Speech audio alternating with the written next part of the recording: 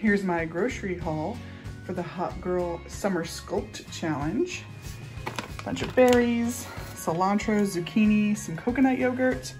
I've got grapes, almond milk, turkey, broccoli, onions, raspberries, garlic and lemon, celery, peppers, avocado, apples, some heads of lettuce, spinach, blueberries, bananas, and then just some canned goods like beans and corn, some almond butter, monk fruit in the raw, which was interesting. It feels really light and fluffy, so I'm interested to try that.